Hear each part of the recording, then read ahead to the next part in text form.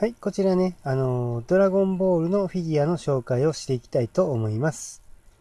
これね、毎回僕ね、あのま、私の動画の内容を見ていただかないとわからないと思うんですけど、私のね、動画の中でよく言っているのが、ま、人によるんですよ。人によるんですけど、あの、僕ね、単色カラーがね、あんまり好きじゃないんですけど、このね、ドラゴンボールに関しては、このね、単色カラーでも、あの、許せるんですけど、許せるというか、まあ、気にはならないんですけどね。まあでもやっぱりね、こちらと同じようにね、やっぱ色を入れてくれてた方がね、いいと思うんですけど、ドラゴンボールね、これ多いですよね。このなんか、あの、ネズミ色、灰色というかね、うん。モノクロというか、こうね、これものすごいできんですよ。ほら、見たらわかると思うんですけど。だからこれをね、よくあの、リペイントして、あの、ヤフーオークションでね、あの、出店してる人がいるんですけど、結構ね、高値で売れてますよ。これね、ほら、もったいないでしょ？このズボンのね、ほら、この線までね、ちゃんと再現されてますし、ほんでね、この気候法みたいなね、やつ、こう、吸い取るやつやったんかな？このキャラクターはね。えー、19号ですね。うん。これね、絶対ね、色入れた方がいいと思うんですよ。ドラゴンボールってちょっとそういうのもったいないんですよね。ま、他のね、あの、フィギュアでもあるんですよ。このなんか白黒バージョンみたいなね。うん。これもね、えー、ジャネンバですね。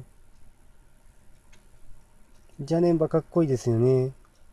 ま、この尻尾がなんかね、ちょっとフリーザー系なんですけどね。ま、言ってた、言ったらキリがないんですけど、なんかドラゴンボールの世界ってこの尻尾の表現が多いですよね。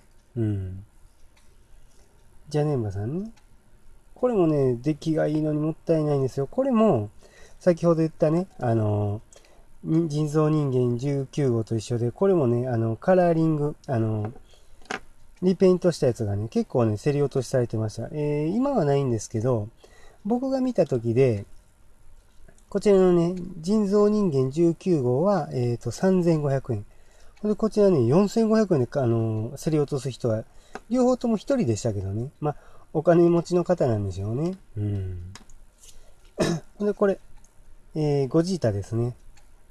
これもね、あの、この、頭のこの部分のね、あの、クリスタルチックなこの色と、これね、この、手がね、ほら、透き通ってるんですよ。この表現がまたいいんですよね。ゴジータさん。これね、えー、と、裏見たら書いてたかな？ちょっと待ってくださいね。いや、書いてないですね。ただ単にあの、ここに あの、ゴジータって書いてるだけですね。よいしょ。